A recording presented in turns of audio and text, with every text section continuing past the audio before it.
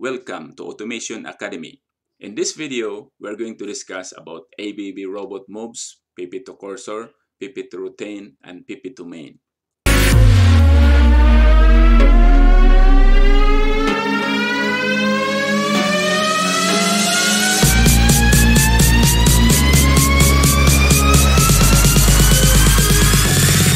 especially if your robot stopped because the clamp, gripper, or positioner sensor was not made. And your program looked like this. You see the symbol here, this is the mechanical robot and this is the actual position. On line 10, move J approach pickup. In joint mode, each axis moves independently. A typical robot have 6 axes, and each of which can move independently each axis usually has two keys, forward and backward keys. And the user hold the shift key together with the deadman switch and press either positive X or negative X.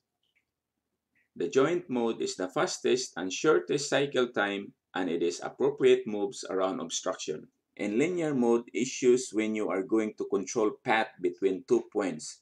One example is weld application from point A to point B.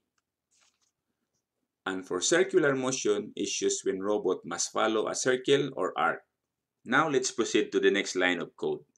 If you already check and rectify the gripper open fault and make sure that the robot is clear to move, you can continue the process in automatic and manual mode. Let's do first the auto mode. Tap the next line of code, and then tap debug, tap PP to cursor, and you will see the program pointer move to the next line of code and then switch the key to auto mode. Then on the teach pendant, it says automatic mode has been selected. Tap OK to acknowledge. Acknowledge by tapping OK. You will see on the top from guard stop to motor off. Guard stop means safety circuit is activated. Press the motor run button to enable the motor. Note, before you press the play button, reduce first the speed. If this is your first time here and you like this video, please don't forget to subscribe and hit the notification bell so that every time I'm going to upload a new video, you will be notified. You can reduce the speed of ABB robot either in manual or auto mode. Click the access menu and then tap the speed icon. And now you can choose your speed reference.